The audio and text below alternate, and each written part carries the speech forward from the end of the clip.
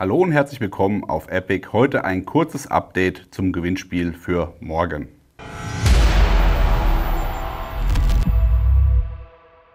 Ich habe mir gedacht, wir machen noch mal ganz kurz ein ganz, ganz kurzes Update für euch, weil morgen Abend um 20 Uhr das Gewinnspiel ausläuft, dass auch jeder Bescheid weiß, wie das funktioniert. Wir werden um 20 Uhr die Kommentare einstellen zu zählen. Das heißt, alle Kommentare auswerten, entsprechend durch ein Auslosungstool jagen und dann die Gewinner bekannt geben. Jetzt ist es ja so, ich habe ja in die ähm, Beschreibung geschrieben, dass wenn der erste Gewinner gezogen wird, hat er 24 Stunden Zeit, sich zu melden. Dann kann er seinen Gewinn aussuchen, dann geht es weiter mit dem nächsten. Im ungünstigsten Fall läuft für uns dann das Gewinnspiel 49 Tage. Genau deshalb machen wir jetzt nochmal kurz dieses Video. Bleibt am Ball, 20 Uhr ist Ende der ganzen Geschichte. Das heißt, wir brauchen nochmal plus minus ein, zwei Stunden, um die Sachen auszuzählen. Und dann geht es los mit der Auszählung.